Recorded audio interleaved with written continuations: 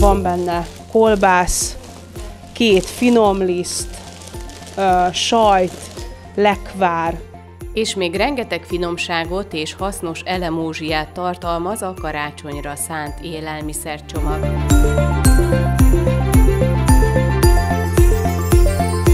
Idei év egy kicsit rendhagyóbb, mint az előző évek, ugyanis három fajta csomagot állítottunk össze. Az egyik egy 9, a második egy 13, a harmadik pedig egy 17 ezer forint értékű csomag. Próbáltuk differenciálni azt, hogy valaki egyedül él, valaki pedig sok-sok gyermekkel. Igyekeztünk úgy összeállítani ezeket a csomagokat, hogy karácsonyra tudjanak belőle főzni, illetve karácsony után is még fel tudják ezeket az élelmiszereket használni.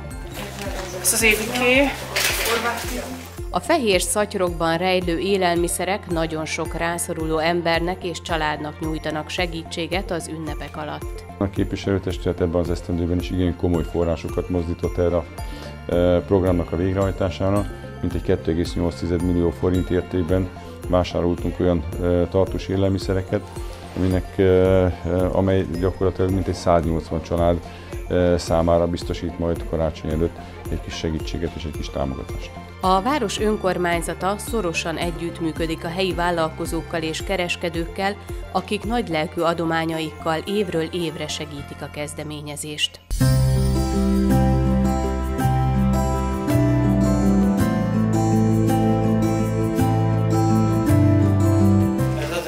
Enyém? Igen, meg ez is jól, de kunkli van. Ebből van kunkli? Jó. Jó, köszönöm. Kellemes ünnepeket, boldog És igen, ennek a csomagnak hála igenis boldogabb és könnyebb lesz az ünnep. Egyedül élek én, és a családi lemsek nem lennének, akkor nem tudnák még így karácsonyra se felkészülni. De nagyon-nagyon örülök, hogy ők vannak, és mindig segítenek. Ez a csomag ez most annyira jól jön karácsonyra, hogy nem tudom hogyan megköszönni.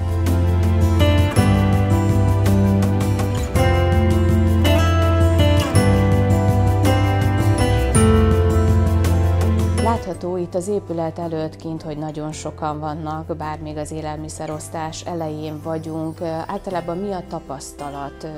Ugye 180 csomagot állítottatok össze, eljön mind a 180 érintett? 95%-ban igen. Általában el szoktak jönni, akik pedig nem, azoknak pedig nyomós indokuk van, ők akár holnap is át tudják venni, de elviszik. Azoknak az idős embereknek, akik nem tudtak a csomagért jönni, vagy nem tudták a kapott 15 kg burgonyát elvinni, a tűzoltók és a Bátkom Kft. munkatársai nyújtottak segítséget.